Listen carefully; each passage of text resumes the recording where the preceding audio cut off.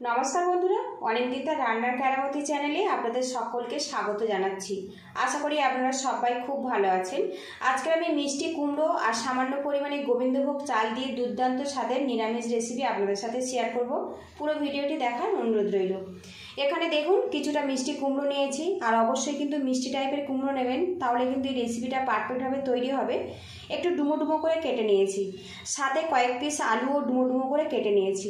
আলুটা যদি না পছন্দ হন, তো বাদ দিতে পারেন। আর এখানে দেখুন, আমি এখানে কিন্তু দুমুটো পরিমাণে গোবিন্দভোগ চাল নিয়েছি। আপনারা এগুলো কিন্তু কম বেশি করে নিতে পারেন। এবারে দেখুন, গোবিন্দভোগ চালটা ভালো করে ধুয়ে জলটা ঝাড়িয়ে নেব। এদিকে কড়াটা গরম করে নিয়েছি, আর এর মধ্যে দিয়ে দেবো সামান্য পরিমাণে ঘি।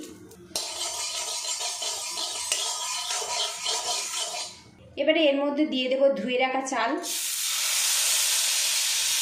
এবারে এর মধ্যে দিয়ে দেবো কিশমিশ এখানে আমি দেখুন আট থেকে দশটা কিশমিশ দিলাম। আপনারা চাইলে বাদামও ব্যবহার করতে পারেন। এবারে এগুলো আমি হালকা করে একটু ভাজা ভাজা করে নেব। তাহলে এই গোবিন্দভোগ চালের এই ফ্লেভারটা কিন্তু খুবই সুন্দরভাবে রেডি হবে। আর গ্যাস রেটটা কিন্তু এই সময় একদম কমে রাখতে হবে। এক থেকে দু মিনিট এই চালটা আমি ভাজা ভাজা করে নেব। আর বন্ধুরা ভিডিও শুরুতেই আপনাদের কাছে একটা রিকোয়েস্ট রইল। একটা লাইক দিয়ে চ্যানেলটিকে সাবস্ক্রাইব করে সাপোর্ট করার অনুরোধ রইল। আপনাদের একটা লাইক পরবর্তী নতুন ভিডিও বানাতে কিন্তু অনেকটাই উৎসাহ দেয়। যতটা সম্ভব শেয়ার করে অন্যজনকে দেখার সুযোগ করে দেবেন। চালটা দেখুন। আমি ভাজা ভাজা করে নিয়েছি। এবার এটা আমি নামিয়ে নেব। আবারও কড়ার মধ্যে সরিষার তেল দিয়ে দেব। এবার এই তেলের মধ্যে কুমড়ো আলুটা দিয়ে দেব। কুমড়ো আলুটা কিন্তু বেশ ভাজা ভাজা করে নেব। আর একটু খেয়াল রাখতে হবে যেন এই ভাজতে ভাজতে এইটটি পার্সেন্ট সিদ্ধ হয়ে যায়। এবারে এর মধ্যে দিয়ে দেবো স্বাদ মতো লবণ। এবারে এর মধ্যে দিয়ে দেবো সামান্য পরিমাণে হলুদের গুঁড়ো।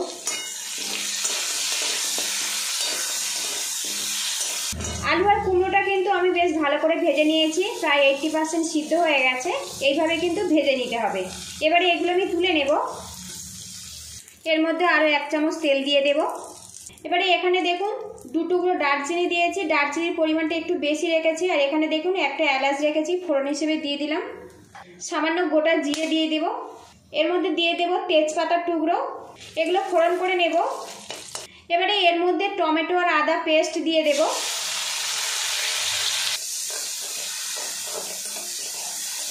এদিকে দেখুন, বেশ কিছুক্ষণ কষিয়ে নিয়েছি। এবার এর মধ্যে দিয়ে দেবো সামান্য পরিমাণে হলুদের গুঁড়ো। দিয়ে দেবো সামান্য পরিমাণে জিরের গুঁড়ো।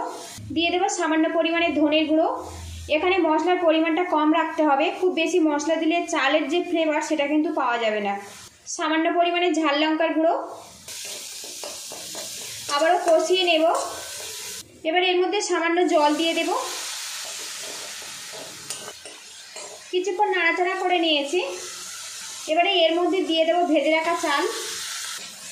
চালের সাথে মশলাটা কিছুক্ষণ নাড়াচাড়া করে নেব। বেশ কিছুক্ষণ নাড়াচাড়া করে নিয়েছি। এবারে এর মধ্যে দিয়ে দেবো ভেজে রাখা আলু আর কুমড়ো। চাল, আলু, কুমড়োটা দিয়ে কিন্তু নাড়াচাড়া করে নিয়েছি। আর এখন দেখুন, তেলটা কিন্তু বেশ আলাদা হয়ে গেছে।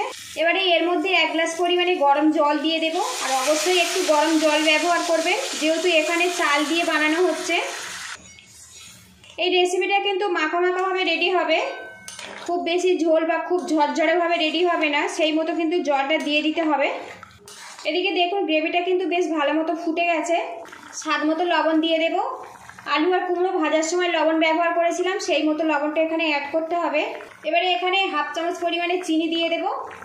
আর অবশ্যই একটু চিনি অ্যাড করবেন, যেহেতু নিরামিষ রেসিপি চাল দিয়ে বানানো হচ্ছে, একটু মিষ্টি মিষ্টি হলে খেতে কিন্তু খুবই ভালো হবে। এখানে দেখুন একটা কাঁচা লঙ্কা অল্প করে ফাটিয়ে নিয়েছি। ভালো করে এটা মিক্স করে নেব।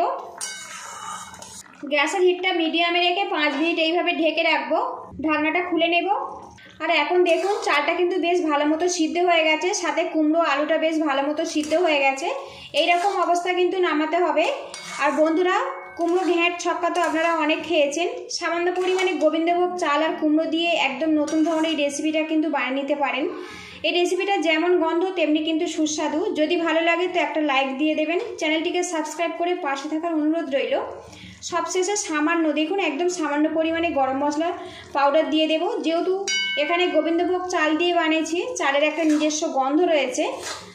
ভালো করে মিক্স করে নেব। আর আপনারা যদি চান তো আরও ঘি ব্যবহার করতে পারেন। আমি এখানে আর কোনো রকম ঘি ব্যবহার করব না।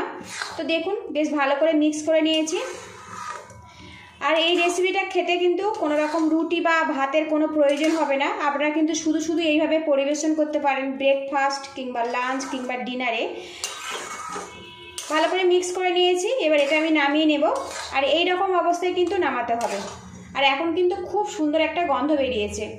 নিরামিষ দিন কিংবা বাচ্চাদের স্কুল টিফিনে এইভাবে কিন্তু বানিয়ে দিতে পারেন। খেতে কিন্তু সত্যি অসাধারণ হয়। যদি ভালো লাগে তো বাড়িতে অবশ্যই এইভাবে ট্রাই করবেন। কেমন হয়েছে কমেন্ট বক্সে জানাবেন। পুরো ভিডিওটি দেখার জন্য ধন্যবাদ রইল। ভালো থাকবেন, সুস্থ থাকবেন। দেখা হবে নেক্সট ভিডিওতে তো। বন্ধুরা লুকিংটা দেখুন। আর এই রেসিপিটা খেতে কিন্তু কোনো রকম ভাত বা রুটি, পরোটার কিছুই প্রয়োজন হবে না। এটা এতটাই টেস্টি যে শুধু শুধু খাওয়া হয়ে যাবে।